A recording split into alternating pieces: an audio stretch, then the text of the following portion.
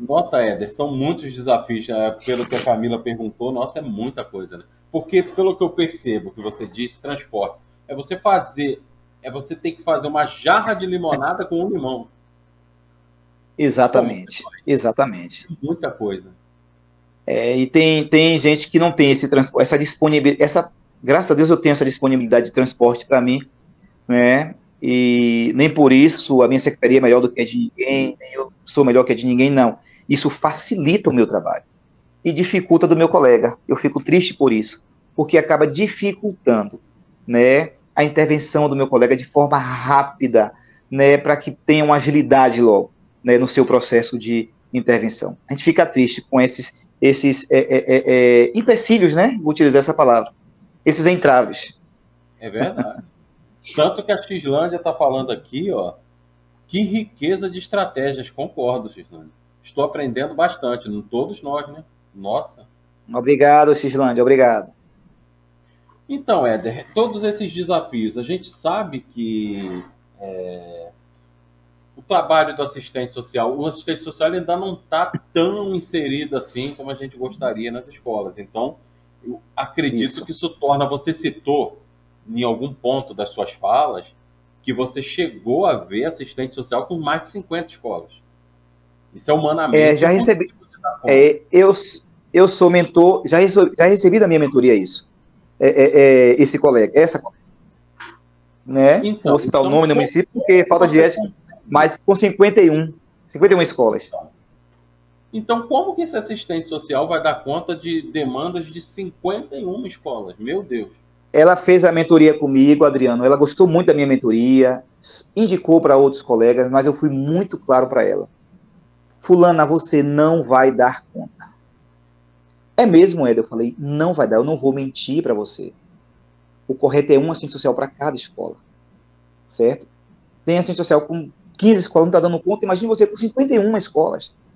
Com 10 escolas não dá conta, é são muitas demandas. Quando a gente coloca evasão, infrequência, abandono, bullying, né, automutilação, gravidez na adolescência, pai responsável, né, cyberbullying, a gente coloca é, a, a, a convivência familiar e comunitária, expressões da questão social, os encaminhamentos, os acompanhamentos, é muita coisa. Elaboração de relatório, a gente tem que ter tempo. Tem gente levando para casa. Eu não aconselho a ninguém levar para casa. Fazer é importante a nossa saúde emocional. Né? Elabora na secretaria, elabora na escola o relatório, certo? E a gente tem que ter tempo também para a gente. E é importante a nossa saúde né, mental, a nossa saúde emocional é muito importante. Então, elabora. Mas tem gente que não tem tempo realmente para nada. Por quê? Tantas escolas, tantas demandas e que ficam apagando incêndio. Não elabora um plano de ação, né? Porque se elaborar não vai poder estar tá realizando as intervenções de acordo com o plano de... A gente sabe que tem algumas demandas que são demandas que chegam sem avisar, né? A gente vai ter que apagar incêndio, mas viver só apagando incêndio é trabalhar de forma desorganizada, me desculpe, né? É. Porque um assistente social para 40, 39 escolas, recebi da minha mentoria 39 escolas. Então, não tem como dar conta. Né? Porque apagar incêndio tem que ser exceção, não a regra, né? Estão fazendo Isso, do, uma... do, incêndio a regra, né? Isso. É, apagar incêndio da, desse, desse cuidado lá nos mecanismos de elaboração das legislações, né? Porque isso Exatamente. deveria estar muito claro dentro da legislação pertinente, dentro da lei. Exatamente. É, Exatamente. mas, é, a, mas é, é, o que eu falei com você. A Lei 13.935 de 2019, o que, é que ela fala lá? Ela dispõe sobre a prestação de serviço de psicologia é, e, de, e de serviço social nas redes públicas de educação. Ela só fala isso. Ela muito não especificou e ela abriu uma brecha, ela não especificou graças a Deus pela lei, ainda bem, né, que tem essa lei, mas não especificou, né, um assistente, um profissional de serviço social, um profissional de psicologia em cada escola. E eu acrescento mais, um profissional de psicopedagogia e um fonoaudiólogo. Por quê? A gente está tendo alunos com é, é, é, é, a psicopedagogia, dificuldade na aprendizagem, né? Alunos com dislexia, com disgrafia, né? Então, alunos com é, é, dificuldade na leitura, na escrita, isso é com, psico, com psicopedagogo. E tem escolas que não tem psicopedagogo. Imagine um fonoaudiólogo com aquela criança que tem dificuldade na fala. Nossa. São profissionais imprescindíveis na rede Sim. pública de educação. Porém, em cada escola. A lei deveria ser mais específica, muito generalizada. Ser mais específica. Deixa muito na superfície. É, ah, deixou. Escola, assistente social, então pode botar um assistente social em 100 escolas. Né? É, é complicado. Exatamente. É exatamente. O, o Lucas está falando aqui, ó. Como é que pode 51 escolas? Haja tempo, verdade. Haja tempo. É, né? Não vai dar conta. Não dá não conta vai. nunca. Não vai. A Flávia Soares está dando boa noite. Boa noite. O, o, Éder, você falou que você tem uma mentoria. Como é que o pessoal que está aqui maravilhado com seus, seus ensinamentos faz para te seguir, para de repente adquirir uma mentoria sua? Como é que faz? Adriano, se você puder colocar aí, né? Arroba assistente social Eder Nunes é o meu Instagram. Arroba assistente social Eder Nunes. Assistente tudo junto. Assistente tudo minúsculo. Assistente social Eder Nunes. Agora, meu Eder é com H-E-D-D-E-R. Eder Nunes. Eder Nunes. Uhum. Arroba assistente social Eder Nunes. Eder com H e dois Ds. Tudo junto né? Quem quiser, tiver interesse. A minha mentoria, gente, é para assistentes sociais que atuam ou que desejam atuar na educação nas escolas. Você que aprende, que, que quer aprender, né? Como assistente social, é, é, qual é o trabalho, qual é a prática, por onde começar, né? Entenda a educação básica. É, é, é, e agora, o que fazer? Por onde eu devo começar?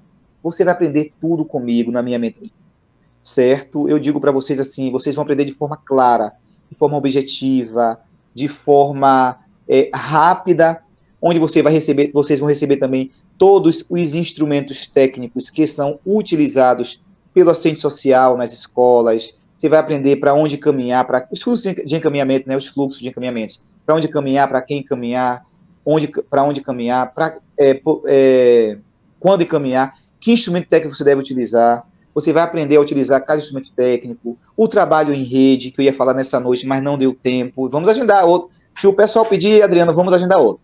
Se não pedir, a gente não agenda. Sim, tem muita coisa para falar. Ô, gente, deixa eu falar com vocês. Os arrobas do Éder, é, toda essa questão para vocês seguirem ele, se quiserem adquirir a mentoria, eu vou deixar na descrição da live e assim que acabar a live, eu vou colocar no comentário fixado. Então vocês, é só eu entrar já... lá, seguir ele, vai lá Eu já Instagram. tenho, Adriano, eu já tenho 600 alunos, 600 alunos. A minha mentoria, eu fiz uma pesquisa, a minha mais em conta na área da educação, a que tem a maior carga horária e a que tem o maior suporte técnico, que é após as aulas do conteúdo programático, né? Você tem aulas gratuitas para você tirar suas dúvidas, que geralmente a dúvida acontece no momento da sua intervenção. Né? Então, assim, você vai amar a mentoria, é muito boa. Minha mentoria é individual, Adriano, não faço mentoria coletiva, né? a não ser que sejam os profissionais da mesma, do mesmo município. Por quê, Adriano? Cada município tem a sua realidade, cada escola vivencia a sua particularidade, certo? Então, eu, eu, a minha mentoria ela é individual. Então, vou ler aqui o restante do chat. A Camila Pinheiro está dizendo: maravilha, importante demais abordar as possibilidades e os limites de atuação nos espaços institucionais. Obrigado. Exatamente. Aí o, o Lucas já seguiu. Isso aí, o Lucas já está te seguindo. Vou seguir de volta. Isso aí. Assim que terminar aqui, eu já sigo de volta.